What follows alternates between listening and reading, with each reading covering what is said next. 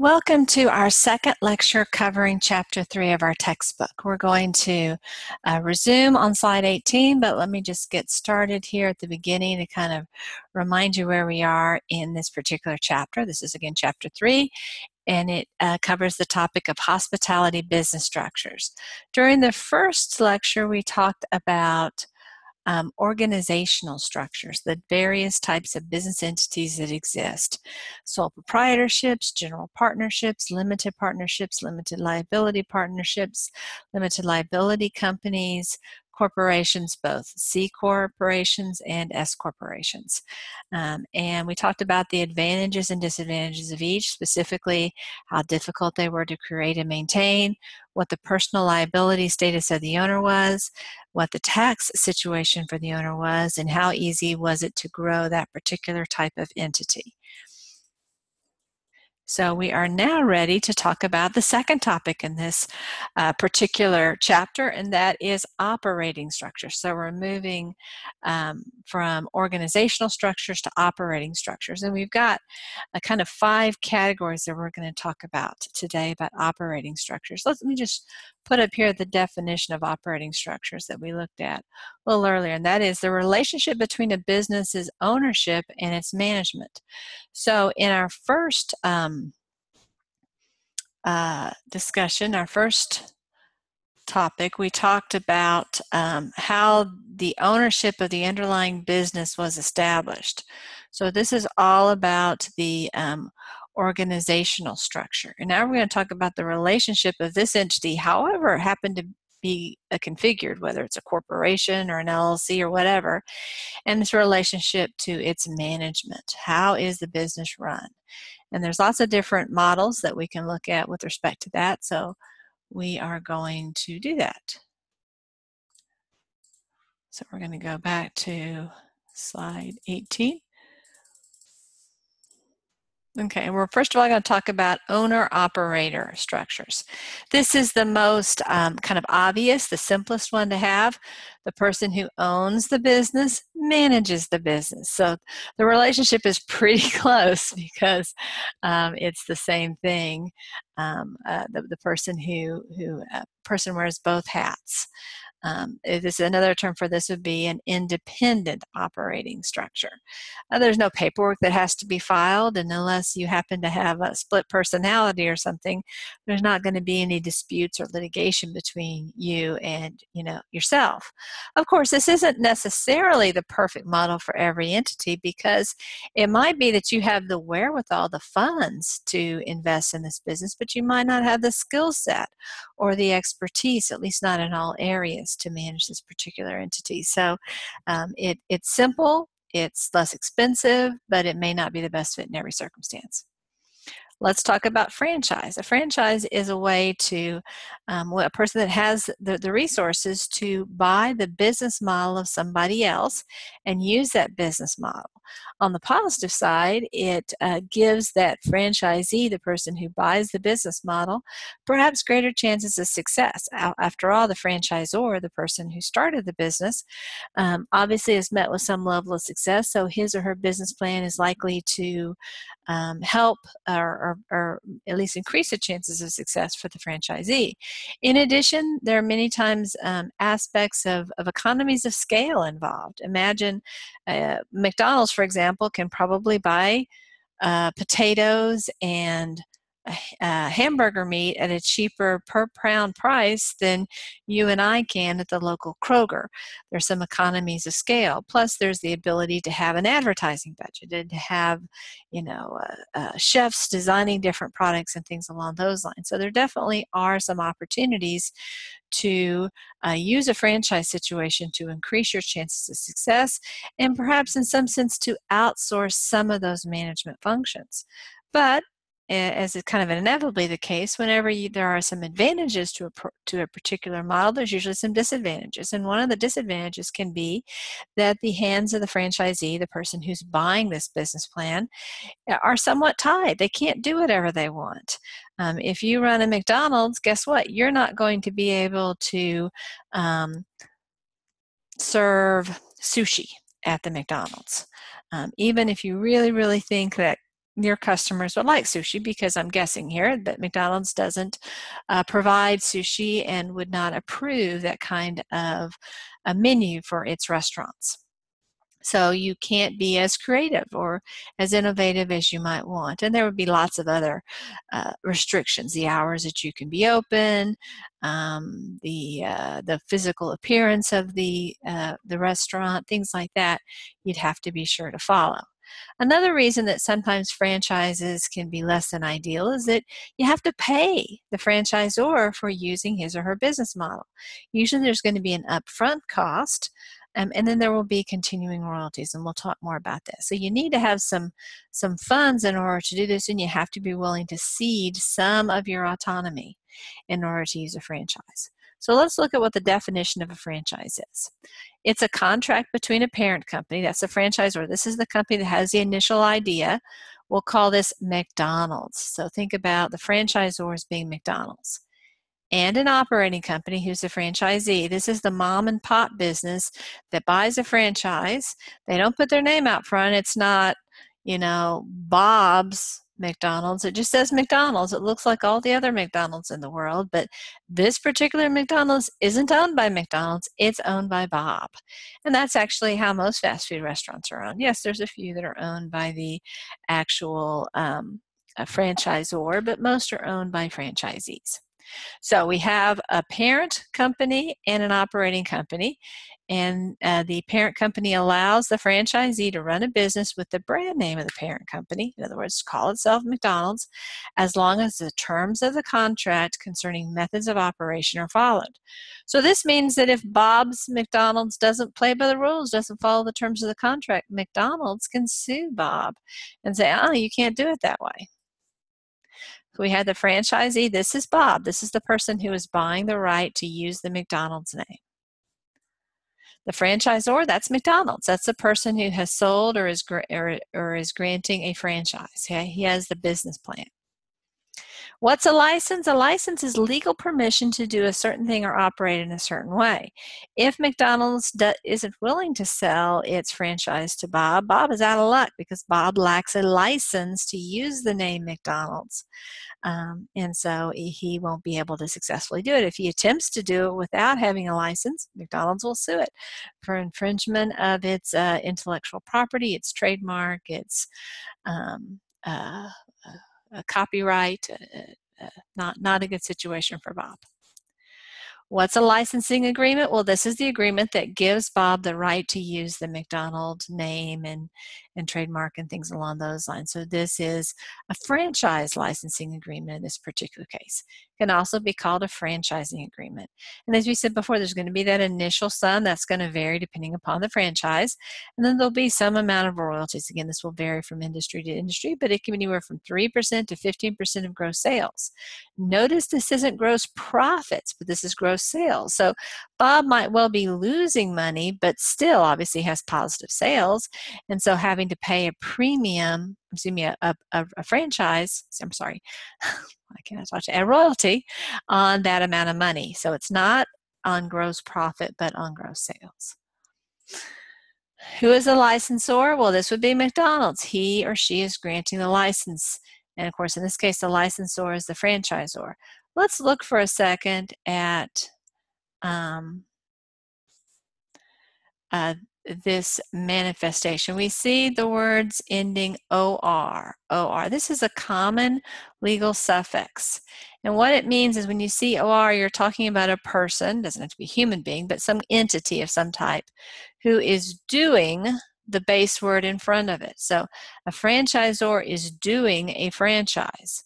A licensor is doing a license. It works pretty similarly to the ER suffix that we use in everyday English. For example, if I use the word writer, I mean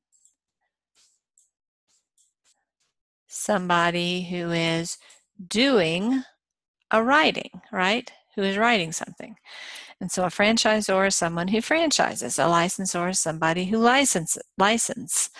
Um, in this context, these are synonyms. There are people who license things that aren't licensing franchises, though. So this is the broader term that covers a lot of additional categories, and this is the more specific term um, relating to a particular type of license, a franchise. So we'll see this OR ending from time to time. Uh, if, if it's helpful, just think about the ER ending that's common in everyday English. We also had the EE ending. And this follows a similar pattern. EE means somebody who receives the base word in front. So a franchisee is somebody who receives a franchise. And my guess is you're going to be able to figure out what a licensee is, right? A licensee is somebody who receives a license. Not too difficult there. Um, so in this case, a licensee and a franchisee are synonyms. They mean the same thing. We have the EE ending in everyday English too. For example, if you are throwing a party and you send me an invitation, I am an invitee. I am somebody who's receiving an invitation. So we see that same pattern in everyday English. And again, we have uh, we have the next slide. Licensee is someone who is granted a license, who has a license. The licensee is the same thing as the franchisee. This is the broader term. This is the more specific term. So we've talked about the owner-operator situation, which owner-operator situation, which is the most simple operating structure. Then we've talked about the franchise situation, which is also a I don't know if I'd say it's super uh, simple, but it's perhaps a little bit more simple than when we get to management contracts. Management contracts are very common in the hospitality industry. Um, a management company is a company that enters into a management contract, right? It's an entity, and of course, it can be any type of entity. It could be a sole proprietorship, it could be an LLC, it could be some type of partnership, it could be some type of corporation. Anyway, whatever its entity status is, for a fee, and it could be a flat fee or some kind of percentage. I mean, there's lots of different ways that this this fee can be calculated, but for a fee, it assumes the responsibility for the day-to-day operation of the business. So it says, let's say uh, you're Bob, you're very wealthy, you want to get in the hotel business, but honestly, you don't really know how to run a hotel. You know this is a good investment, but you don't want to be involved in the day-to-day uh, tasks involved. So you hire a management company and you pay them some kind of fee associated with it. And then they go out and actually run the operations. They decide what the prices for the rooms will be, they decide what the policies will be in terms of checkout time. Uh, they make all of those decisions for your business usually because they specialize in the business. They have a lot of expertise and knowledge about it. And of course, when you enter into an agreement with a management company, you're going to enter into a management contract, right? Uh, by the way, whenever you see the word contract in this course, I'm probably not going to write out the word contract. I'm probably just going to do a capital letter K. That's a common way for legal professionals to talk about contracts. Um, in Greek, um, the uh, the capital letter K has the k sound. And so um, we oftentimes use that to stand in for the word contract, obviously. In the English language, we use a C to begin the word contract, but for abbreviations, we're going to be using K. So this would be a management contract. So what is a management contract? It's the legal agreement that defines the responsibilities of the business owner, which is, of course, usually to pay the fee, and the management company. What does it have to do to satisfy the terms in the contract? If either one, if the business owner doesn't fulfill its obligations or the management company doesn't fulfill its obligations, obviously there can be a lawsuit because we have a situation of breach of contract. Now let's talk about REITs. Okay, what is a REIT? Well, REIT stands for a real estate investment trust. This is similar in many respects to a limited partnership.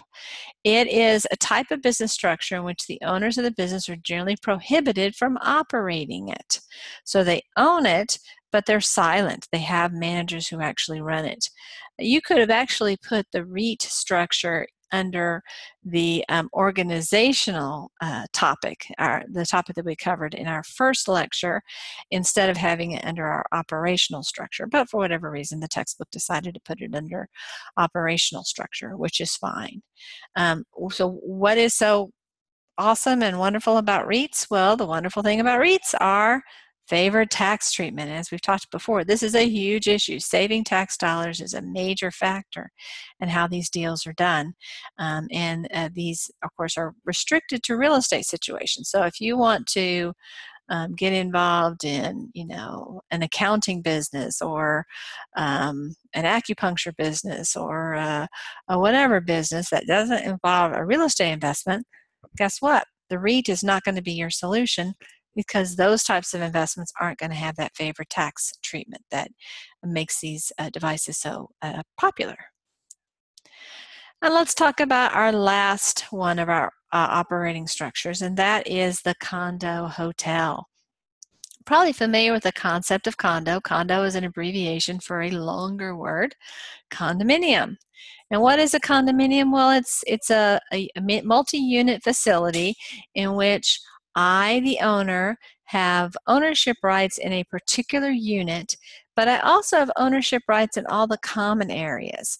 For example, there might be, well, there certainly will be hallways, maybe some kind of foyer, elevators, staircases, uh, maybe a garden, swimming pools, laundry facilities, those types of things. So I own my unit and I have a proportional interest in the overall facility. And you can see how it's important when you own a condominium uh, what your neighbors are doing. Because if my neighbor next door um, uses the common areas in a way that I don't like, maybe plays loud music all the time or leaves the area a mess, that's diminishing the value of my property.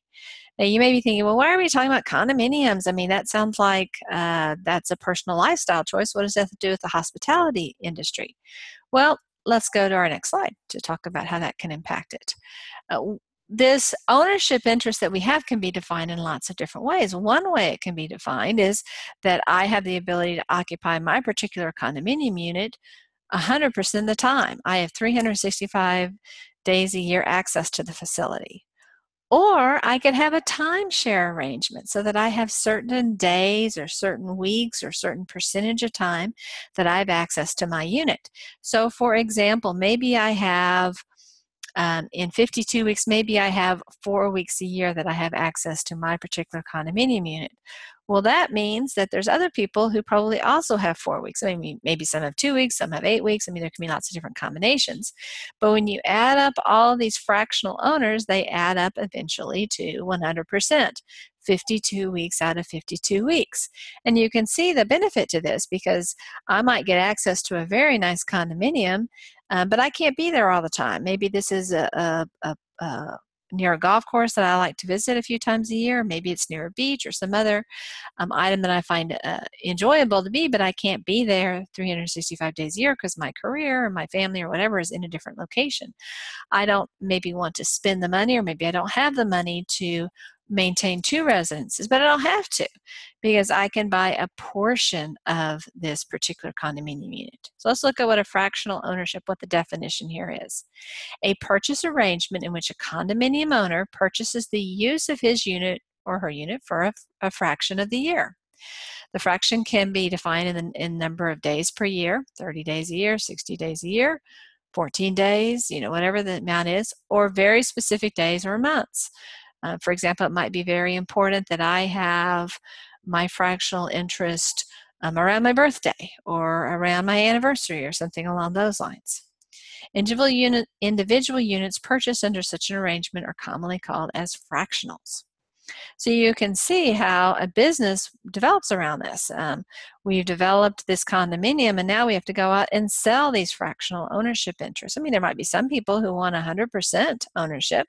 Uh, maybe they're retired or they just enjoy living in this place full time. But you can see how um, uh, you're going to have to sell each one of these units multiple times in order to uh, uh, make a profit on, on, this particular entity. And you might have other parts of the facility. For example, you might have a hotel or a barber shop or a flower shop or things like that that might cater to uh, the customer base, uh, the owners of the facility. They might enjoy those facilities as well. So you can see how this does become a hospitality um, business at, at when it's a fractional ownership situation. Now, who is going to run this facility? I mean, there's lots of different ways that you can set this up. A common way would be to have some kind of management company manage the facility.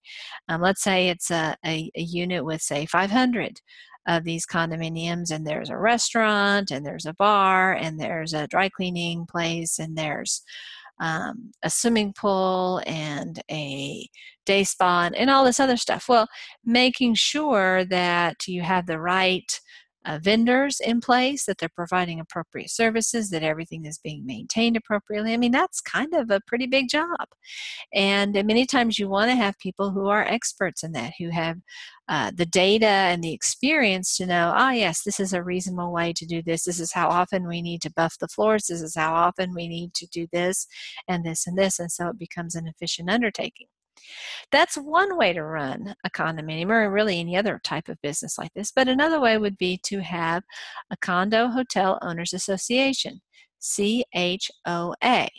And, and this in this way, instead of having an outside management company run the condominium, you have a group of these the, owners of the condos um, they are elected to implement the policies and the procedures to manage the condominium process excuse me, complex.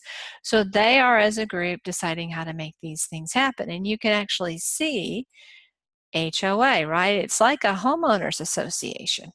Um, if if you are like me and you, you live in a homeowners association, you know that the residents make many of the decisions. Now they may choose to hire a management company to handle certain things like uh, running the swimming pool, uh, making sure that uh, uh building permits are, are, issued correctly when people want to have a new roof put on or a new fence put up or things like that. Um, but some of the decisions are being made, at least maybe the broad picture decisions are being made. For example, that condo, uh, they might vote on whether they want to have you know, one nice restaurant and one nice bar, or whether they want one nice restaurant and one casual restaurant. Um, and so deciding which is going to be the better path for their particular condominium is a big picture thing. And then once they decide how they want to allocate their, their public spaces, then they might consider hiring a management company to actually uh, rent out the space and manage those types of concerns. Or, of course, they can do it themselves. So now we've talked about the common hospitality operating structures. We've talked about the owner operator situation. We've talked about franchises. We've talked about management contracts. We've talked about REITs. And we've talked about condo hotels. Um, at this point, we are going to um, end the meeting or in this uh, uh, particular, here we go, in this particular presentation. Uh, just a little reminder that if you have any questions about uh, the topic of operating structures, please feel free to email me. Um, uh, and again, I encourage you to come by my office hours so we can discuss this in more detail. I look forward to hearing from you if you do have questions. And we will complete this lecture. Um, our third, uh, we'll have a third lecture on, on chapter three, in which we'll finish the material in this particular chapter. I thank you for your attention and have a wonderful day.